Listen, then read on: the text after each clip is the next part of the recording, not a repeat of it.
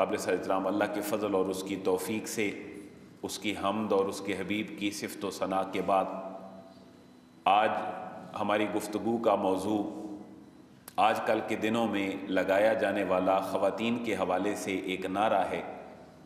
اسلام نے خواتین کے بارے میں ہمیں کیا تعلیمات ارشاد فرمائی ہیں کہ اللہ تبارک و تعالیٰ نے قرآن مجید فرقان حمید میں عورتوں کی قدر دانی کے اوپر پورے قرآن مجید میں عورتوں کے نام سے ہی ایک پوری سورہ مبارکہ، سورہ نساء جو ہے وہ نازل فرمائی جس کی سینکڑوں آیات عورتوں کے حقوق کے حوالے سے اللہ نے متعین فرما دی۔ اور دوسری بات، جب ہم قرآن پڑھتے ہیں تو ہمیں عورتوں کا احساس دلاتے ہوئے اور خاتون کی جو قدر و منزلت ہے، اس کا احساس دلاتے ہوئے کچھ ایسی صورتیں بھی ہیں جو عورتوں کے نام کے اوپر موجود ہیں۔ مثلا ہم قرآن دیکھتے ہیں تو ہمیں سورہ مریم بھی جناب مریم سلام اللہ علیہ کے نام پہ نظر آتی ہے۔ تو یہ دو صرف میں نے شارٹ مثالیں دی ہیں کہ عورتوں کے حقوق کے لیے اللہ نے پوری صورت نازل فرما دی، سورہ نساء۔ اور عورتوں کے ساتھ ایک تعلق اور عورت کا معاشرے کا ایک بڑا اعلیٰ جزو ہونا۔ اس حوالے سے اللہ نے صورتوں کا ٹائٹل بھی خواتین کے نام سے جو ہے وہ ذکر فرما دیا۔ اور قرآن کے اندر بھی پھر خواتین کا تذکرہ فرمایا۔ کچھ خواتین ہمارے لیے ماڈل ہیں، بہتر خواتین کے اعتبار سے۔ اللہ نے ان کا ذکر خیر فرما دیا۔ کچھ خواتین ایسی ہیں کہ جو ہمارے لیے ماڈل نہیں ہیں۔ اللہ نے ان کا بھی تذکرہ فرما دیا۔ جو ماڈل تھیں، ان میں فرعون کی بیوی جناب آسیہ کا تذکرہ کر دیا۔ جو ماڈل تھیں، ان میں جناب مریم کا تذکرہ کر دیا۔ جو ماڈل نہیں تھیں، ان میں جناب لوت کی بیوی کا تذکرہ فرما دیا۔ تو ایک سوچ فراہم کر دی کہ یہ عورت بھی معاشرے کا ایک بہت بڑا جزو ہے۔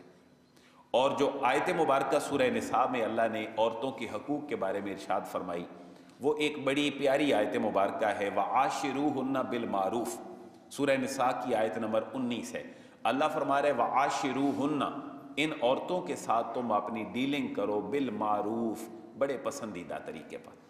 تو یہ سارا لب لباب اور خلاصہ یہ کہ اللہ نے جو مرد کو صلاحیتیں دی ہیں معاشرے میں، اللہ اس سے بطور مرد یہ کام لینا چاہتا ہے۔ اور کچھ صلاحیتیں اللہ نے عورت کو دی ہیں، اللہ سے اللہ انہی صلاحیتوں کے مطابق عورت سے بھی کام لینا چاہتا ہے۔ میں ایک مثال آپ کے سامنے اگر عرض کروں، آپ اگر اس کو سمجھیں، میں انسان کی حیوان سے مثال نہیں دے رہا، لیکن میں اوورال ایک مثال عرض کر رہا ہوں۔ کہ اللہ تبارک و تعالیٰ نے جانوروں میں بھی اور انسانوں میں بھی اور اپنی ساری مخلوق میں بھی جو کام لینا تھا وہی صلاحیتیں اپنی مخلوق کو دیں۔ آپ دیکھیں کہ شیر اور چمٹی میں فرق ہے یا نہیں؟ کتنا سارا فرق ہے؟ زمین و آسمان کا فرق ہے۔ اللہ نے شیر سے جو کام لینا تھا اسی کے مطابق اللہ نے اس کی ساخت بنائی اللہ نے جو چمٹی سے کام لینا تھا اسی کے مطابق اللہ نے اس کا پورا سٹرکچر بنایا۔ آپ اگر صرف جانوروں جانوروں میں بھی دیکھیں تو بکری کی ساخت، حالانکہ بکری کیا ہے؟ جانور ہے۔ اور گائے اور بھینس بھی کیا ہے؟ جانور ہے۔ اونٹ بھی کیا ہے؟ جانور ہے۔ ہاتھی اور شیر بھی کیا ہے؟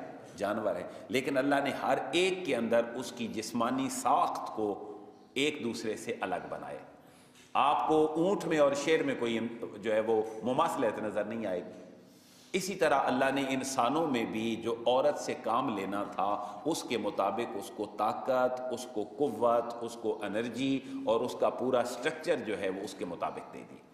اور جو مرد سے کام لینا تھا، اللہ تبارک و تعالیٰ نے مرد کو بھی اسی مناسبت سے پورا سٹرکچر اور حلیہ اور اس کی ساخت عطا فرما دی۔ عورت عورت کا مین مقصد جو قرآن اور اللہ چاہتا ہے وہ کیا ہے؟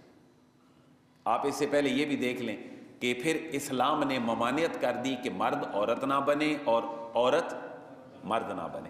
بلکہ بننا تو بڑی دور کی بات ہے۔ آج تو ہو رہا ہے ایسا کہ انسان اپنی جنس بھی تبدیل کر لیتے ہیں، لیکن اسلام اس کی اجازت اس لیے نہیں دیتا کہ اسلام کو تو سائڈ پہ کر لو۔ تم انسان آگے نہیں بڑھ سکتے ہو۔ انسانی معاشرہ ڈیولپ نہیں ہو سکتا۔ انسان دنیا میں آنا ختم ہو جائیں گے اگر تم اپنی حیات اور اپنا سٹرکچر اور اپنی کیفیت چینج کر لو۔ آپ کچھ ممالک دیکھیں تو وہاں ایسا ایسے اصول بھی بن چکے اور ان کے قوانین مرتب ہو چکے جن میں مرد مرد سے شادی کر سکتا ہے، عورت عورت سے شادی کر سکتی ہے۔ کیا یہ اسلام کی مخالفت ہے یا انسانوں کی مخالفت ہے؟ انسانوں کی مخالفت ہے۔ اس کی وجہ یہ ہے، مرد مرد سے شادی کرے گا تو انسان دنیا میں نہیں آ سکیں گے۔ اولاد آدم نہیں بڑھ سکے گی۔ اس لیے اسلام کہتا ہے، انسان کو انسان رہنے دو، مرد کو مرد رہنے دو اور عورت کو عورت رہنے دو۔ پھر اسلام نے یہ کہا، جو مرد عورت بننے کی کوشش کرے گا اور عورتوں جیسا حلیہ بھی بنائے گا، اللہ اور اس کے رسول نے اس کے اوپر بھی لانت فرمائی۔ جو عورت مرد بنے گی اور جو عورت مردوں کی طرح اپنی شکل و صورت بنائے گی، اسلام نے اس کے اوپر بھی لانت کی۔ اب یہ حدیث انشاءاللہ اور قرآن و سنت کی تعلیمات ہمارے سامنے چلتی رہیں گی۔ یہ آج کا پہلا موضوع ہے، زندگی رہی تو اگلا جمعہ اور آگے ہمارا یہ موضوع چلے گا۔ اور اس کے دو تین فائدے ہم لے لیں گے۔ ایک فائدہ تو یہ ہے کہ عورتوں کے حقوق اور فرائض پہ ہمارا ایک لٹریچر مرتب ہو جائے گا۔ اور وہ چالیس حدیثوں کی فضیلت بھی ہمارے سامنے ہے۔ آقا کریم علیہ السلاۃ والسلام نے فرمایا، جس نے چالیس حدیثیں پڑھیں، یاد کیں، لوگوں تک پہنچائیں اور ان کو عمل کی طرف راغب کیا، اس کے لیے اللہ کے دو انعامات ہیں۔ آپ کے شاید ذہن میں ہوں، میں گاہے گاہے ان کو بیان کرتا رہتا ہوں۔ اربعین، چالیس حدیثوں کی بڑی فضیلت ہے۔ اور وہ یہ کہ حضور نے فرمایا، دو انعام ملیں گے، ایک تو میں قیامت والے دن اس کی شفاعت کروں گا۔ اور دوسری فضیلت یہ ہے کہ اس کو قیامت والے دن علماء میں سے اٹھایا جائے۔ کتنی حدیثیں یاد کرنے پر؟ چالیس حدیثیں۔ یاد سے مراد یہ نہیں کہ آپ لن بائی ہرٹ کریں کہ اس کو رٹا لگا لیں، آپ اس کو پڑھ بھی لیں۔ لوگوں تک پہنچا دیں، عمل بھی کر دیں، تو چالیس حدیثیں جو یاد کرنے کا حکم ہے، وہ ہمارا پورا ہو جاتا ہے۔ تو آج کے ہمارے لیکچر میں اٹھارہ احادیث مبارکہ صرف عورتوں کے حقوق کے اوپر مشتمل ہیں۔ عورتوں کے فرائض اس آج کے لیکچر میں شامل نہیں۔ عورت کو ہم کبھی یہ آج کے لیکچر میں بات نہیں کریں گے کہ تمہارے گھر کے کو فرائض بھی ہیں۔ آج صرف بات کس کی ہوگی؟ عورتوں کے حقوق پہ۔ اسلام نے عورتوں کو کیا حقوق دی ہیں؟ یعنی جو اس نے لینے ہیں یہ ہم نہیں کہہ رہے کہ اس نے جو کچھ کرنا ہے۔ یہ حقوق وہ ہیں جو اللہ نے اس کو دیے ہیں اور باقیوں کے فرائض بنا دی۔ پہلی مثال آپ نے سمجھ لی کہ انسان مرد سے مردوں والے اللہ کام لینا چاہتا ہے اور عورتوں سے اللہ عورتوں والے کام لینا چاہتا ہے۔ اور یہ ذہن میں رکھ لیں، کبھی ایسا ہو ہی نہیں سکتا کہ جو عورت کی صلاحیت ہے وہ مرد کے اندر آ جائے اور جو مرد کی صلاحیت ہے وہ عورت کے اندر چلی جائے۔ آپ کائنات کے بڑے بڑے طاقتور پہلوان لوگ بھی ملا لیں۔ مالدار مل جائیں بدماش مل جائیں، بیوروکریٹ مل جائیں، دنیا کا کوئی مکتبہ فکر اکٹھا ہو جائے، پورا مذہب بھی اکٹھا ہو جائے، تو مرد بچے کو جنم نہیں دے سکتا۔ تو بچے کو جنم دینے کی طاقت کوالٹی اور صلاحیت اللہ نے صرف عورت کو عطا فرمائی۔ تو پھر ساری دنیا کے مرد پیچھے رہ گئے یا نہیں؟ بولے نا۔ تو ہمیں بھی پھر چاہیے کہ ہم بھی پلے کارڈ اٹھا کے سڑکوں پہ نکل آئیں کہ ہمارے حقوق عورتوں کے مقابلے میں کم ہے تو ہمیں یہ سیکھنا چاہیے کہ جو اللہ نے کام لینا تھا، اسی کے مطابق حضرت انسان، مرد اور عورت کو صلاحیت عطا فرما دی۔ اگر یہ انہی صلاحیتوں کے مطابق چلتا رہا، تو انسان چلتے رہیں گے، انسانی معاشرے چلتے رہیں گے، انسانیت سکھی رہے گی ان کے اندر انس اور محبت رہے گا۔ اگر یہ اس ٹریک سے اتر گئے تو انسانوں کے لیے دنیا میں مسائل پیدا ہو جائیں گے۔ بیماریاں آن لیں گی اور انسان جو ہے وہ تمدنی طور پر، تہذیبی طور پر، ثقافتی طور پر اپنی معاشرت کے اعتبار سے انسان اپنا مقام کھو بیٹھے گا۔ اور اس کے اثرات آج ہم دیکھ رہے ہیں۔ اکبر الہبادی علامہ اقبال، قائد اعظم، الطاف حسین حالی، بڑے بڑے لوگوں نے آج سے منیمم منیمم ہنڈریڈ ایئر اگو۔ تقریباً سو سال پہلے ہمیں یہ باتیں کر دی تھیں کہ جب نظام تعلیم تمہارا یہ آ جائے گا اور کتابیں تمہاری ایسی آ جائیں گی جو تمہیں انسانیت سے دور کر دیں گی، تو پھر وہ جو اثرات آئیں گے وہ آج ہم معاشرے میں دیکھ رہے ہیں۔ تو اسلام عورت کو فرشتہ بننے کا بھی نہیں کہتا کہ تم فرشتہ بن جاؤ، لیکن اسلام یہ بھی نہیں کہتا کہ تم بے مہار آزاد ایک معاشرے کا فرد بن جاؤ کہ تمہیں کو پوچھنے والا نہ ہو۔ اسلام یعنی دو چیزیں اسلام عورت سے ریکوائر نہیں کر رہا، مردوں سے بھی ریکوائر نہیں کر رہا۔ کیا اسلام میں یہ کہتا ہے فرشتے بن جاؤ؟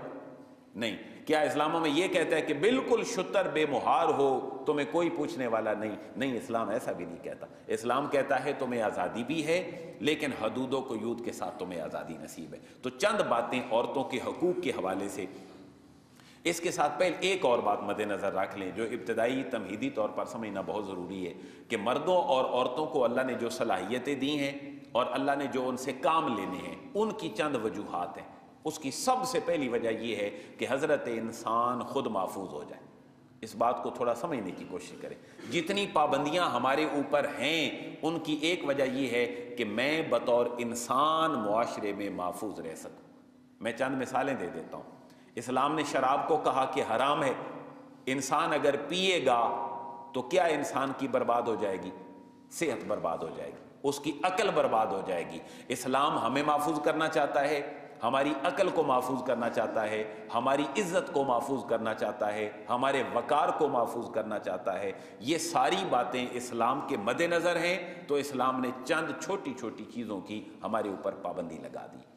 میں نے اب اسلام کا جو کنسیپٹ آف پنشمنٹ ہے، میں نے اس کا بھی ایک تبیدی جملہ عرض کر دیا ہے کہ جتنی اسلام کی سزائیں ہیں، وہ صرف انسانی وقار کی بحالی کے لیے۔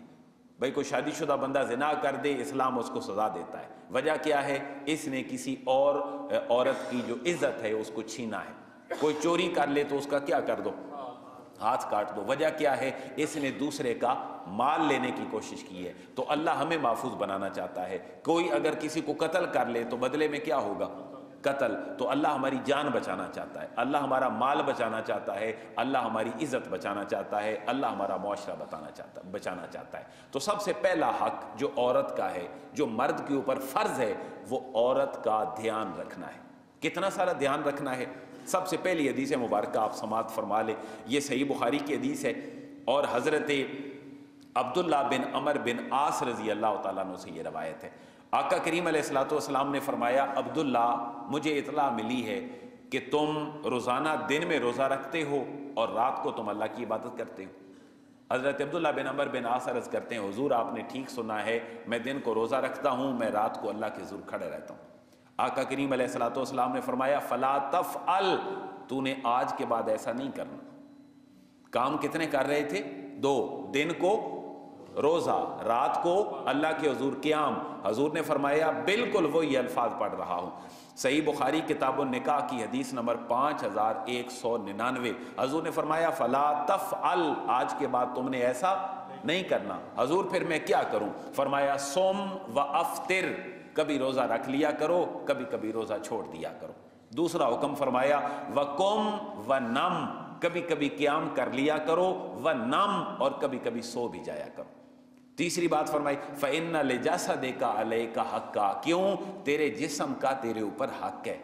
دوسری بات فرمائی وہ ان لے کا علیہ کا حق کا تم سو بھی جایا کرو، کیونکہ تمہاری آنکھ کا تمہارے اوپر حق ہے۔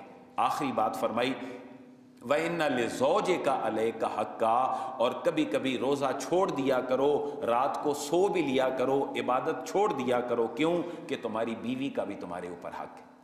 ذرا موازنہ کریں، ایک آدمی اللہ کے حضور کھڑا ہو رہا ہے، اللہ کے لیے روزہ رکھ رہا ہے، لیکن اللہ اس کو منع فرما رہا ہے۔ وجہ کیا ہے؟ جو دن کو سائم رہے گا اور رات کو وہ قائم رہ قیام میں رہے گا، تو پھر وہ حقوق زوجیت بھی ادا نہیں کر سکتا۔ تو سب سے پہلا حق عورت کا اللہ نے اپنی عبادت کرنے والے بندے کو عبادت کی معافی دے کر یہ فرمایا، بھائی تیری آنکھ کا بھی حق ہے، تیرے جسم کا بھی حق ہے اور تیری بیوی کا بھی تمہارے اوپر حق ہے۔ پتہ چلا، اسلام مرد کو اپنی بیوی کے قریب رکھنا چاہتا ہے۔ پتہ چلا، اسلام نے تو بطور بیوی عورتوں کی حقوق پہلے ہی متعین کر دی اور اللہ روزہ چھڑوا رہا ہے، اللہ نماز چھڑوا رہا ہے، اللہ رات کو قیام چھڑوا رہا ہے، فرض نہیں جو زائد روزے اور زائد عبادات۔ تو اللہ نے تو عورت کے لیے پہلے ہی حقوق کا بندوبست فرما دی دوسری حدیث مبارکہ، آقا کریم علیہ السلاۃ والسلام نے اعلان نبوت کے بعد تیئیس سال تک محنت فرمائی۔ ایک مدنی معاشرہ قائم فرمایا اور آخری خطبہ جو آپ نے خطبہ عجت الوداع ارشاد فرمایا، اس میں تقریباً کو سوا لاکھ کے قریب صحابہ کرام تھے۔ آقا کریم علیہ السلاۃ والسلام نے جس بات پہ سب سے زیادہ زور دیا، وہ عورتوں کے حقوق تھے۔ آقا کریم علیہ السلاۃ والسلام نے فرمایا، یہ بھی صحیح بخاری کی پانچ ہزار ایک سو چھیاسی اور پانچ ہزار ایک سو پچاسی نمبر حدیث مبارکہ ہے آقا کریم علیہ السلاۃ والسلام نے فرمایا، جو اللہ اور آخرت پر ایمان رکھتا ہے میں اس کو آخری نصیحت کرتا ہوں کہ فلاں یو زی جا رہو وہ اپنے پڑوسی کو کبھی آج کے بعد تکلیف نہ دے۔ یہ خطب آخری کے الفاظ ہیں۔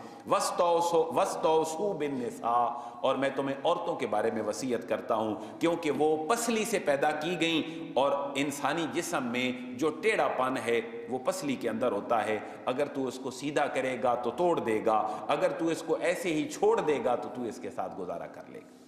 تو اللہ تبارک و تعالیٰ کے حبیب نے اپنی تیئیس سالہ تبلیغی زندگی میں سب سے زیادہ جس بات پہ محنت فرمائی، اس کا ایک جز یہ ہے کہ عورتوں کی حقوق آقا کریم علیہ السلاۃ والسلام نے بڑی توجہ اور دھیان سے لوگوں کو باور کروا دی۔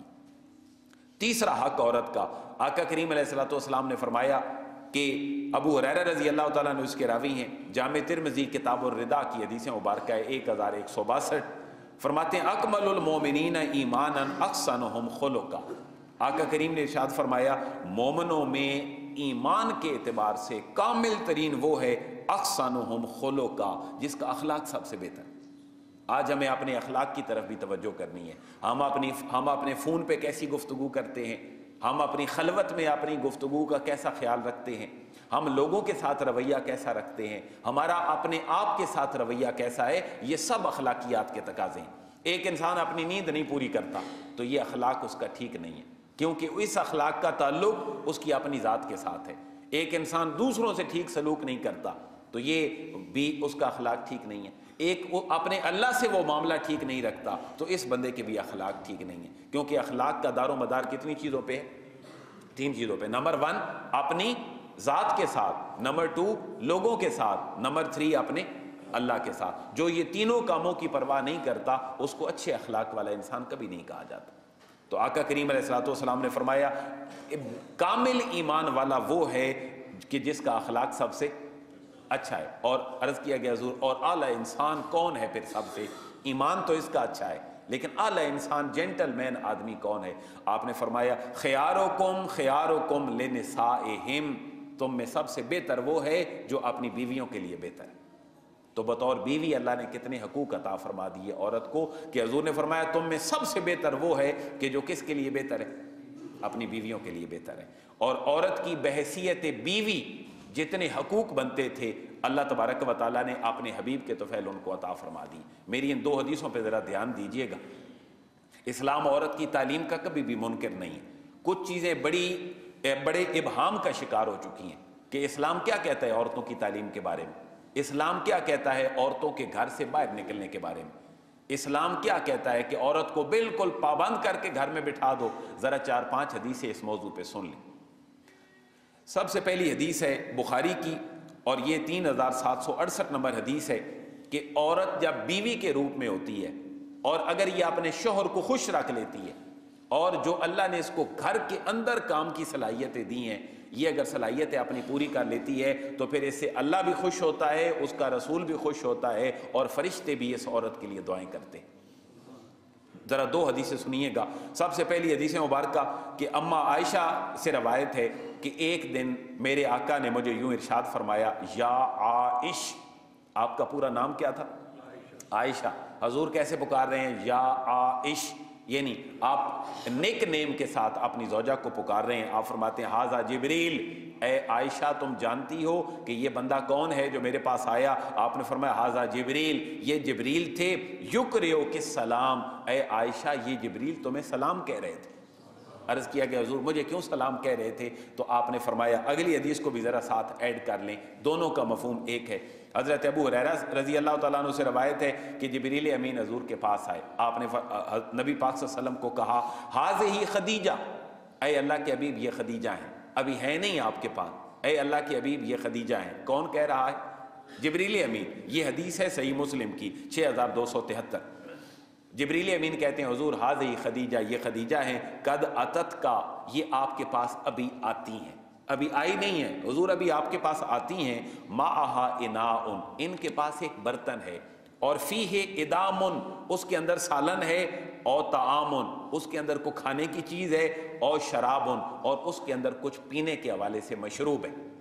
تو آپ کے پاس خدیجہ آتی ہیں، ان کے پاس ایک برتن ہے، برتن میں کھانا ہے، برتن میں سالن ہے، برتن میں پینے کی چیز ہے۔ اور جبریل کہتے ہیں، اے اے اللہ کی حبیب فیضا یا اتت کا جب یہ آپ کے پاس پہنچ جائیں تو فقرا علیہ السلام مر رب ہا ان کے رب کی طرف سے ان کو سلام پہنچا دیں دوسرا جملہ فرمایا، و منی اور میری طرف سے بھی خدیجہ کو سلام پہنچا دیں و بشر اور ان کو خوشخبری دے دیں، بے بیت فی الجنہ اللہ نے جنت میں ان کے لیے گھر بنا دیا۔ ذرا یہاں غور کریں کہ ایک بیوی کو اللہ کا سلام کیوں آ رہا ہے؟ ایک بیوی کو فرشتوں کا سلام کیوں آ رہا ہے؟ ذرا تناظر دیکھ لیں کہ اس عورت کی کوالٹی کیا ہے؟ عورت کی کوالٹی کیا ہے؟ عورت عورت نے ایم بی بی ایس یا ایم کام کی ڈگری یا ڈاکٹر اور انجینئر ہونے کی ڈگری نہیں دکھائی اپنے شوہر کو۔ اسلام یہ کہہ رہا ہے کہ جو اپنے گھریلو امور میں کمال رکھتی ہے اور اپنے شوہر کا دل جیت لیتی ہے تو پھر اللہ بھی راضی ہو جاتا ہے، اس کے فرشتے بھی اس سے راضی ہو جاتے ہیں۔ لیکن کیا اسلام ایجوکیشن کا مخالف ہے؟ نہیں۔ اسلام چاہتا ہے کہ عورت کو تعلیم دی جائے، لیکن اسلام جو تعلیم چاہتا ہے وہ شاید آج کی تعلیم سے تھوڑی مختلف ہے۔ ایک اور حدیث مبارکہ ذرا ذہن میں رکھ لیں۔ کہ صحیح بخاری دو ہزار تین سو دس نمبر حدیث ہے۔ ایک عورت آقا کریم علیہ السلاۃ والسلام کی خدمت میں حاضر ہوئی، عرض کرتی ہے، حضور، میں چاہتی ہوں کہ میں آپ کے خاندان کی ایک فرد بن جاؤں۔ میں اپنے آپ کو آپ کے اخلاق کریمانہ پہ قربان کرتے ہوئے اپنے آپ کو آپ کے نکاح میں پیش کرتی ہوں۔ آقا کریم علیہ السلاۃ والسلام نے فرمایا، مجھے اس کی فی الحال حاجت نہیں۔ تو ایک صحابی پاس بیٹھے تھے وہ عرض کرتے ہیں، حضور، ان کا نکاح مجھ سے کر دیں. آقا کریم علیہ السلاۃ والسلام نے فرمایا، تیرے پاس ان کو، اس کو دینے کے لیے کیا ہے؟ وہ عرض کرتے ہیں، حضور، میرے پاس تو کچھ بھی نہیں، آپ نے دو تین چیزیں گنوائیں، تمہارے پاس حق مار کے لیے فلاں چیز ہے، جو اس زمانے کی ثقافت اور تہذیب تھی، تمہارے پاس کو تلوار ہے؟ تمہارے پاس کو زیرہ ہے؟ تمہارے پاس کو کھانے پینے کی چیز ہے، وہ لے آؤ، وہ اس کو بطور حق مار دے دو اور میں اس کا تمہارے ساتھ نکاح کر دیتا ہوں۔ عرض کہتے ہیں، حضور میرے پاس تو کچھ بھی نہیں ہے۔ آپ نے فرمایا، تجھے قرآن کچھ آتا ہے؟ عرض کرتے ہیں، حضور مجھے قرآن آتا ہے۔ آپ نے فرمایا، قد زوجناکہا بما معاک من القرآن۔ جتنا قرآن تجھے آتا ہے، میں اس کے بدلے اس کا نکاح تیرے ساتھ کرتا ہوں، تو اس کو قرآن پڑھا دینا۔ پتہ کیا چلا کہ اسلام عورت کو ایجوکیشن دینا چاہتا ہے۔ اسلام عورت کو ایجوکیشن دینا چاہتا ہے۔ حق مار کے بدلے بھی علم کی بات آقا کریم علیہ السلام سے کہا رہے ہیں۔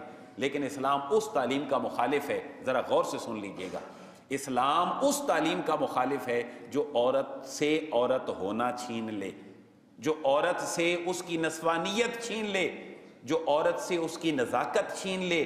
جو عورت سے اس کی حیا چھین لے، جو عورت سے اس کا پردہ چھین لے، جو عورت سے اس کا عورت ہونا چھین لے، اسلام اس تعلیم کی کبھی بھی وہ جو ہے وہ اس کے حق میں ووٹ نہیں دیتا۔ اسلام کہتا ہے پڑھاؤ، لکھاؤ، اس کو بہتر معاشرے کا فرد بناؤ تاکہ یہ کل حسن و حسین جیسی ماں کی غلام بن سکے۔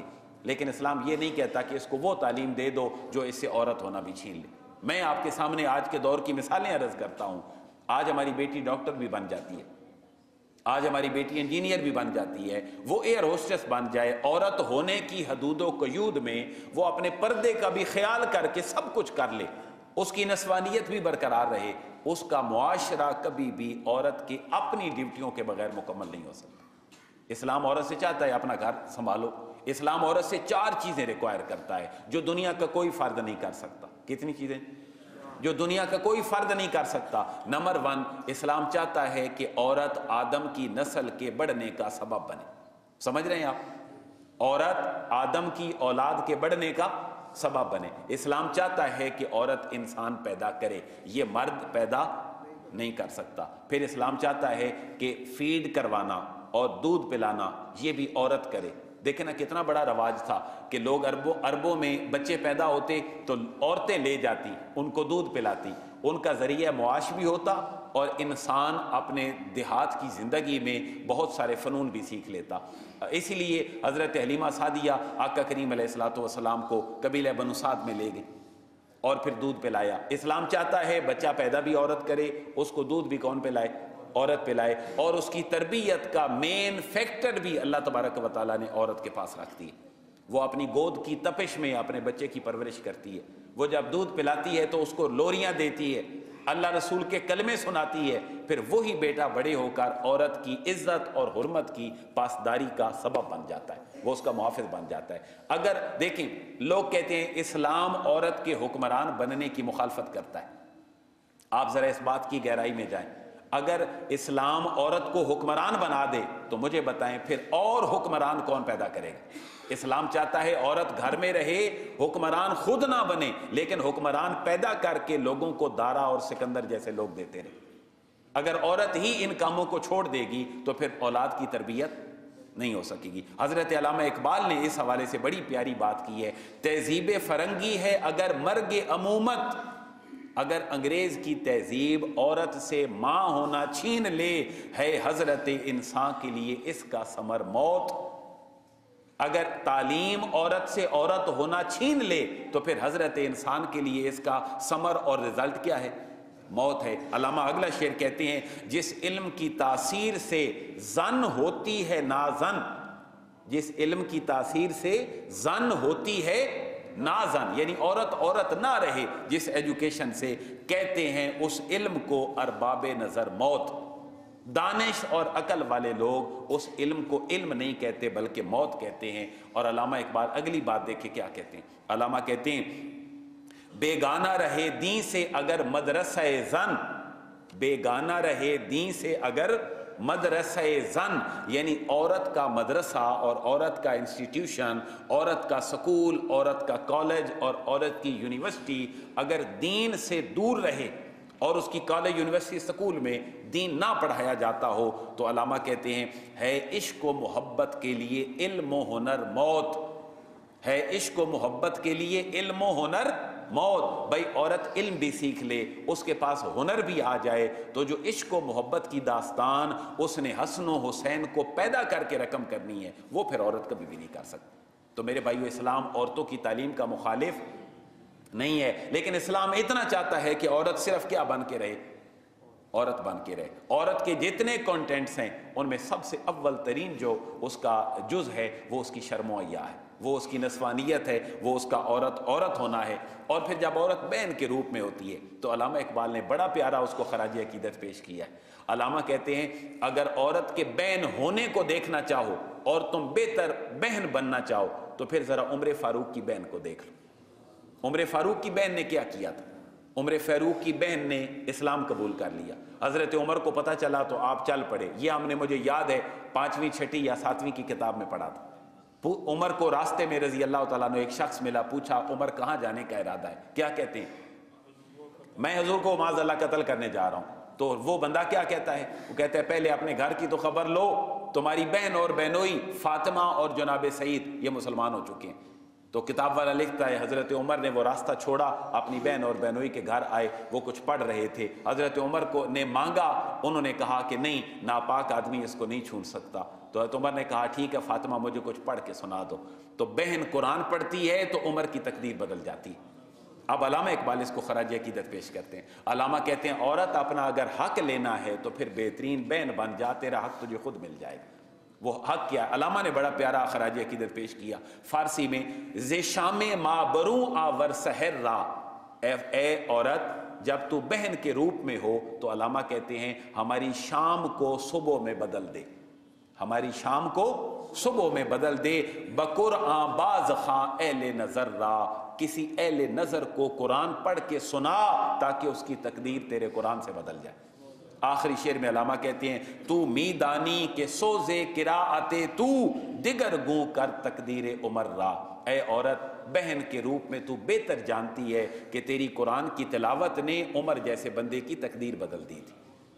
تو میرے بھائیو اسلام تو عورت سے یہ ریکوائر کرتا ہے کہ اگر تم بیوی ہو، امور خانہ دانی بہتر کر لو خانہ داری تو تمہارا، تمہاری تقدیر بدل جائے گی۔ اگر تم ماں ہو، تو اسلام نے کیا کہا؟ علامہ جلال الدین سیوتی نے وہ بڑی پیاری حدیث نقل کی ہے الجنت و تحت اقدام الامہات۔ جنت ماؤں کے قدموں کے نیچے چھپا کے رکھ دی ہے اسلام نے۔ اور ایک راوی حضور کی خدمت میں حاضر ہوتے ہیں۔ عرض کرتے ہیں کہ حضور میری خدمت کا اور میرے حسن سلوک کا سب سے زیادہ مستحق کون ہے؟ آپ نے فرمایا اموں کا، تیری ماں۔ عرض کرتے ہیں حضور، پھر اس کے بعد کس کا مرتبہ ہے؟ آپ نے فرمایا اموں کا، تیری ماں۔ پھر حضور نے پوچھا اور کون تیرا مستحق ہے میری خدمت کا، میرے حسن سلوک کا؟ حضور نے فرمایا اموں کا۔ وہ عرض کہتے ہیں حضور، پھر اور زیادہ کون ہے؟ آپ نے سم ابو کا۔ پھر تیرا باپ، تیرے حسن سلوک کا مستحق ہے۔ تو عورت عورت کو میرے بھائیو، اسلام نے اپنی اس بنیاد پہ رکھا ہے۔ اسلام مجھ سے اتنا بڑا کام لینا چاہتا ہے، اتنا بڑا کام لینا چاہتا ہے جو اس کے عورت ہوئے بغیر کبھی پاسبل نہیں ہے۔ اسلام کبھی بھی عورت کی ایجوکیشن کا مخالف نہیں ہے۔ بھتہ کہ آقا کریم علیہ السلام نے فرمایا، من آل سلاسہ بناتن جس نے تین بیٹیوں کی پرورش کی فَأَدَّبَ ہننا ان کو تعلیم اور تربیت سکھا دی وہ ضب واجہ ہننا اور ان کی شادی کر دی وہ اقسانہ ہننا اور ان کے ساتھ حسن سلوک کیا۔ حضور نے فلاح الجنہ میں اس کو جنت کی بشارت دیتا ہوں۔ تو دیکھو میرے بھائیو، بچیوں کو پڑھانا کوئی اسلام مخالفت نہیں کرتا۔ اسلام صرف یہ چاہتا ہے، اس کی شرم و حیا نہ چھینو۔ اس کی شرم و حیا نہ چھینو۔ اس کو حیا کے پردے میں رہنے دو، اس کو عورت ہی رہنے دو، تو پھر تمہارے لیے یہ بہتر معاملہ چلا لے گی۔ اور جب یہ بیٹی کے روپ میں ہوتی ہے، تو اسلام نے کیا کہا؟ حضور نے فرمایا، فاطمہ تو بد اتم منی، فاطمہ میرے جگر کا ٹکڑا ہے۔ تو اہل بیت بھی ڈیفائن ہو گئے۔ حضور نے فرمایا، میری بیٹی فاطمہ میرے جگر کا ٹکڑا ہے۔ انہوں نے اپنی محبت ریسیو کی، لیکن حضور کہنا کیا چاہتے ہیں کہ بیٹیاں دل کا ٹکڑا ہوتی ہیں، تو میرے بھائیوں صرف غور اس طرف کرنے کی ضرورت ہے کہ اسلام عورت کو میں نے دو جملے عرض کیے، ڈاکٹر امید اللہ نے بڑا پیارا تجزیہ کیا انٹروڈکشن ٹو اسلام میں کہ اسلام عورت کو فرشتہ بن جانے کا نہیں کہتا، لیکن اسلام عورت کو بے مہار آزادی بھی فراہم نہیں کرتا۔ آخری جملہ، جو اسلام نے صلاحیتیں عورت کو دی ہیں، اسلام اسی کے مطابق ان سے کام بھی لینا چاہتا ہے۔ جو مرد کو صلاحیتیں دی ہیں، اسلام اسی کے مطابق اس سے بھی کام لینا چاہتا ہے۔ مرد عورت بنے گا، عورت مرد بن جائے گی یا کوشش کرے گی، تو معاشرے کے اندر ایک ایسا عدم توازن آ جائے گا کہ انسانی معاشرہ جو ہے وہ کبھی ترقی نہیں کر سکے گا۔ اچھا جی اسلام عورت کے بناؤ سے گھر کے بارے میں کیا کہتا ہے؟ کیا عورت بناؤ سے گھر نہیں کر سکتی؟ کر سکتی ہے۔ لیکن کچھ بناؤ سے گھر وہ نہیں کر سکتی، جس کی نبی پاک صلی اللہ علیہ وسلم نے حدودوں کو یود لگا دی۔ اسلام عورت تعلیم حاصل کر سکتی ہے، کر سکتی ہے، لیکن اسلام نے کچھ حدودوں کو یود رکھ دی ہیں۔ عورت گھر سے باہر نکل سکتی ہے، نکل سکتی ہے، لیکن اسلام نے کچھ اس کی حدودوں کو یود متعین کر دی ہیں۔ لہذا میرے بھائیو، جو مسلمان ہے، وہ تو اسلام کے سٹرکچر کو فالو کرے گا۔ جو مسلمان نہیں ہے، وہ اپنے جس مرضی ہے سٹرکچر کو فالو کرتا رہے۔ لیکن ایک دکھ کی بات یہ ہے کہ چند لوگوں نے یہ میرا اپنا انالیسز ہے۔ چند لوگوں نے میڈیا پہ بیٹھ کر اس نعرے کو میں یہ سمجھتا ہوں، شاید یہ میڈیا کی اپنی چال ہے کہ آدھے لوگ ایک طرف آدھے آدھے ہی موافق، آدھے خود ہی مخالف۔ اور ایک ایسی چال کے ذریعے بچے بچے کے کان میں ڈال دیا ایک ایسا نعرہ کہ جو شاید وہ کان میں ڈالنا ہی اپنا مشن سمجھتے تھے۔ آج لوگ مذاق کرنے لگے ہیں۔ جنہوں نے یہ نعرہ سنا، میرا جسم میری مرضی، اس کے اوپر اب سوشل میڈیا پہ لطیفے بننا شروع ہو گئے۔ مثلا میں نے کل خود یہ لطیفہ پڑھا۔ وہ کہتے ہیں جی آپ اگر کوئی ہیلمٹ نہ پہنے اور وائڈن اس کو روک لے تو سیدھی سیدھی بات اس کو کر دیں۔ میرا سار میری مرضی۔ یعنی جو نعرہ وہ دینا چاہتے تھے وہ تو نعرہ دے دیا۔ چنگے بھلے پڑھے لکھے لوگ بھی۔ میں آج ہی ایک ٹیچر سے گفتگو کر رہا تھا تو انہوں نے بھی اپنی اپنی اسی لیول کا ایک لطیفہ مجھے سنا دیا۔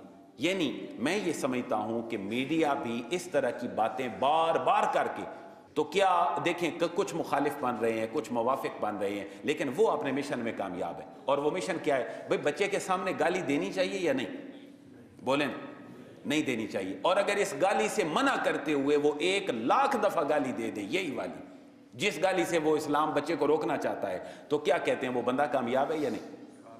وہ کامیاب ہے۔ میڈیا آج بھی اپنے مشن میں کامیاب ہے۔ اس نے بچے بچے کے کان میں، اخباروں میں، ٹی وی پہ، ہر جگہ پہ یہ بات پہنچا دی۔ میرا جسم میری مرضی، وہ ناکام نہیں ہے۔ لیکن سوچنے کی بات پھر بھی یہ ہے، ہم مسلمان ہیں، ہم نے بینگ گا مسلم، ان چیزوں کو مینج کرنا ہے۔ باقی یہ چند لوگ ہیں، میں کہتا ہوں ان کی جو تعداد ہے، وہ ہنڈریڈ کو بھی شاید کراس نہ کرتی ہو۔ لیکن ایک دکھ ضرور ہے کہ وہ اپنے مشن میں کامیاب ہیں۔ انہوں نے ہمارے بچوں کو وہ بات سکھا دی ہے جو شاید ہم نہیں سکھانا چاہتے۔ دیکھیں، چھوٹا بچہ جس کو پتہ ہی نہیں، میرا جسم، میری مرضی کیا ہے، اس کو بھی پتہ ہے کہ آج مجھے بھی یہ جملہ جمعے پہ کہنا پڑ رہا ہے۔ تو میں بھی تو ہزار بندے کے سامنے کہہ رہا ہوں۔ لیکن یہ ایسا فتنہ ہے جس فتنے میں ہم مبتلا ہیں۔ دوسرا دکھ یہ ہے، ہم جو بات سنتے ہیں من و ان آگے رگڑ دیتے ہیں۔ کبھی بھی تحقیق اور تفتیش نہیں کی۔ یہ ذہن میں رکھیں، انسان کے جھوٹا ہونے کے لیے یہ کافی ہے کہ جو سنیں وہ آگے کر دے۔ یہ ساری سوشل میڈیا کی باتیں ہیں۔ ہم سارے ہی مفکر ہیں۔ ہم سارے ہی مفسر ہیں۔ ہمیں خود اپنا خیال میرے بھائیو، خود کرنا چاہیے۔ تو یہ نعرے چند لوگ لگاتے ہیں، لیکن ہمارا پورا معاشرہ اس لپیٹ میں آ جاتا ہے۔ اور آپ کا اور میرا فرض کیا ہے؟ عورت کی تربیت نہ کوئی کالج کر سکتا ہے، نہ کوئی یونیورسٹی کر سکتی ہے۔ اگلی بات سن لے نہ کوئی نصاب تعلیم کر سکتا ہے۔ عورت کی تربیت صرف مرد ہی کر سکتا ہے۔ اور یہ نہیں کہ ڈنڈا لے کے کھڑا ہو جائے، میں نے تیری تربیت کرنی ہے۔ نہیں، انسان جب خود بہتر ہوتا ہے، اس کے گھر کی خواتین بھی بہتر ہوتی۔ اور پھر اگر نہ بھی ایسا ہو کہ انسان بہتر ہو، خواتین بہتر نہ ہو تو قرآن مجید کے اندر چار آیتیں ایسی بھی ہیں کہ حضرت انسان اپنی کوشش کر لو۔ اگر تمہاری ماں، بہن، بیوی، بیٹی ٹھیک نہیں ہوتی تو تمہیں پریشان ہونے کی ضرورت پھر بھی نہیں۔